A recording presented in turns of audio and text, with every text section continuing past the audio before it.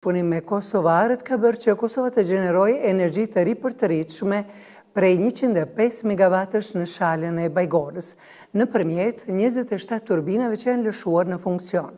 Njohësit e kësaj fushe thonë se Kosova ka potencial të madh për këtë. Kështu duket kodra e Shalës së Bajgorës nga veriu i Mitrovicës. Njëzet e shtatë turbina për prodhimin e energjisë me erë tashmë janë lëshuar në funksion. Ky projekt i ndërmarrjes kosovare gjermano-izraelite, SOVI i ka shtuar kapacitetet e gjenerimit të energjisë prej njëqind e pesë megavatash,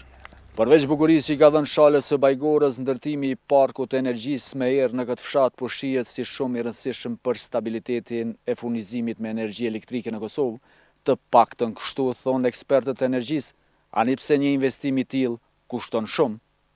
Por në rast se Kosova përmes investitorëve të huaj dëshiron të ndërtojë parqe të tilla që burim e kanë energjinë e ripërtritshme, atëherë nevoja për ndërtimin e tyre është e madhe,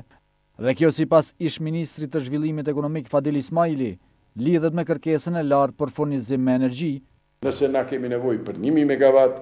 që do t'i plotësonim nevojat ose një mijë e pesëqind megavat që i plotësojmë nevojat me thëngjill të themi, atëherë duhet me pas katër mijë megavat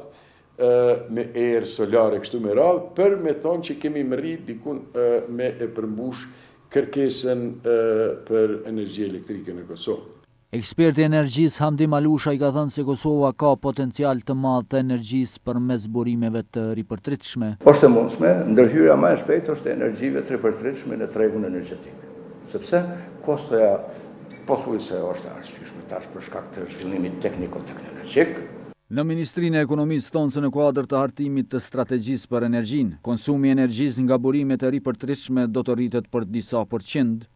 Me strategjinë e re do të jetë të paktën njëzet e pesë deri në tridhjetë përsent do të jenë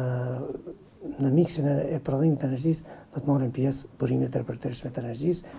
Gashi tha se Ministria e Ekonomisë do të krijojë të gjitha mekanizmat ligjorë që do të mundësojnë burimeve të ripërtritshme të energjisë të depërtojnë më lehtë në tregun energjetik të Kosovës.